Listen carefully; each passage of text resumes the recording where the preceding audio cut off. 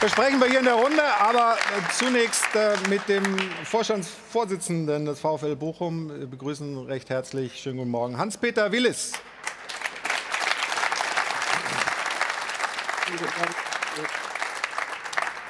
Ja, Herr Willis, haben Sie da in Bochum ein besonderes Problem mit ähm, diesen Dingen?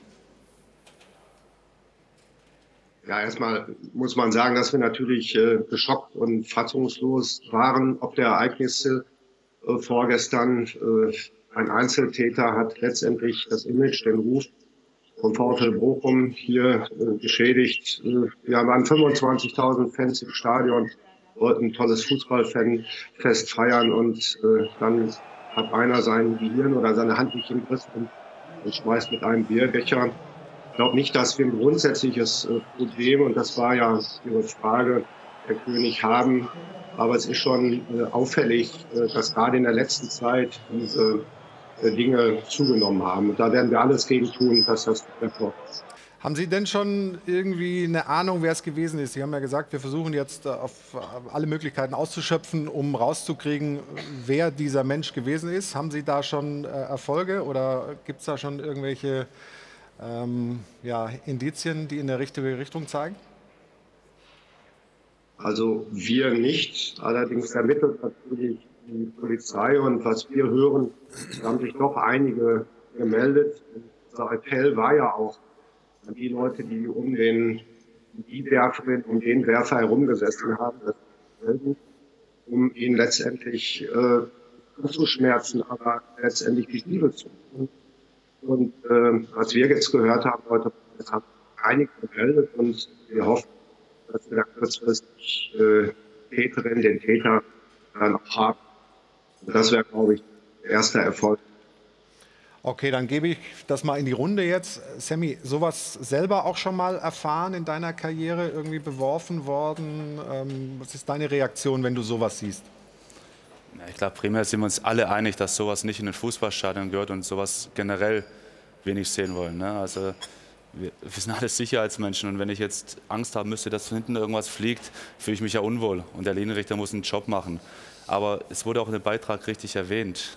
Ne? Union Berlin, Freiburg und mein Bruder wurde selber Teil dieser Geschichte und äh, es war sichtbar, dass ein Jugendlicher äh, abgeworfen worden ist. Ne? Also ein 14-, 15-Jähriger, der am Spielfeldrand da stand und da finde ich es einfach ja, respektlos einfach von jedem einzelnen Fan. Ja. Ich denke, da müssen, was sind die Lösungen? Man muss härtere Strafen finden, weil ähm, das ist das Einzige, was zählt. Und ich glaube, jetzt irgendeinen Glaskasten hinklatschen, nicht, das sollte nicht die Lösung sein. Es sind Miteinander, Spieler und, und Fans und auch äh, alle, die mit dem Fußball beteiligt sind.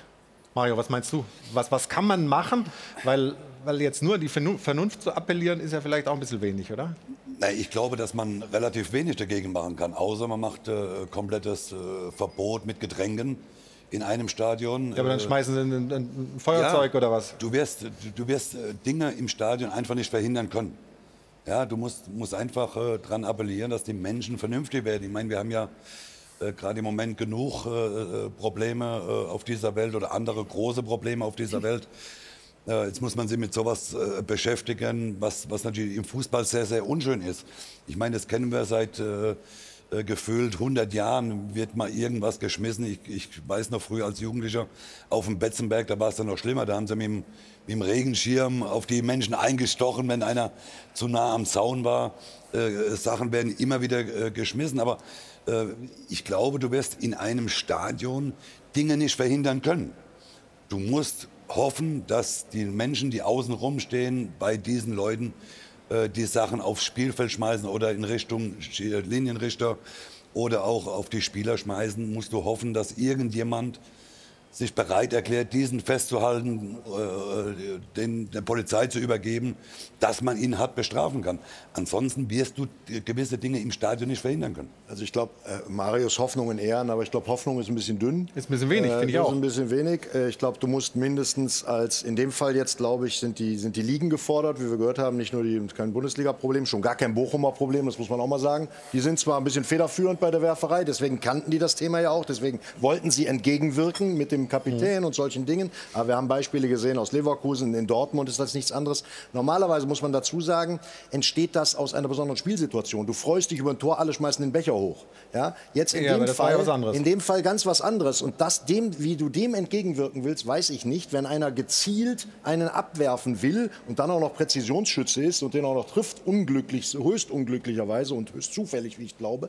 Aber das ist natürlich äh, ganz übel. Und das wiederum, da bin ich ein bisschen bei Mario, das, diese Einzelthemen auszuschalten, wird ganz dünn. In England, glaube ich, sind weitestgehend Becher und Dingens auf den Tribünen verboten. Hm. Äh, äh das wäre vielleicht ein Weg für die DFL, zumindest die großen Wurfgeschosse rauszuhalten. Damit hast du immer noch die Feuerzeuge in der Tasche oder was. Aber zumindest entschlackst du das Thema vielleicht. Aber es sind so viele Kameras. Ne? Warum kann man nicht genau diese eine Person ermitteln und dann dementsprechend auch so hart bestrafen, dass die anderen sagen, oh, da wird vielleicht der Geldbeutel irgendwann klamm, weil dann wird es klamm im Essen. Und dann ist es vielleicht ein Zeichen, das ist die einzige Möglichkeit. Ne? Alles andere gehe ich, geh ich vollkommen ja, mit. Also ich glaube auch, dass, dass, die, dass das die Möglichkeit ist, das, was Sami sagt. Du musst diese Person ermitteln, du musst den Täter identifizieren und eine knallharte Strafe aussprechen, weil so eine Deppen brauchen wir nicht in den Fußballstadien. Ich glaube, die einzige Möglichkeit ist, so jemanden zu finden und dann ein lebenslanges Stadionverbot wirklich auszusprechen, weil das wiederum ist nicht nur für Bochum interessant, sondern das setzt natürlich auch ein Zeichen in die ganze Liga. Die merken, dass da was passiert und warum das, was in Bochum passiert ist, nicht so auch in anderen Stadien aussprechen, wenn das so passiert.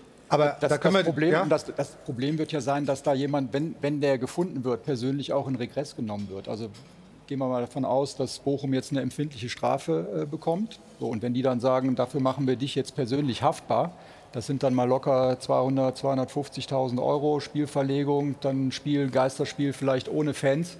Also ich glaube, ähm, wenn, wenn das eine Privatperson betrifft, der ist ja ruiniert. Das muss man ja so sagen. Also ich glaube, eine noch härtere Strafe gibt es ja in dem Sinne nicht. Und was Mario auch sagt, du musst natürlich auch gucken, dass es dann untereinander dann auch nochmal so eine, so eine Hygiene im Stadion gibt, dass du sagst, so pass auf, wenn da jemand ist und der ist irgendwie betrunken oder randaliert darum, pass mal auf, mein Freund, ganz ruhig. Und glaub, dass, glaub, dass, das da, dass da dann äh, auch, auch geholfen wird. Weil, weil alles andere, diese Strafen, sehen wir ja, funktioniert nicht. Es muss halt einfach ein anderer Spirit auch rein.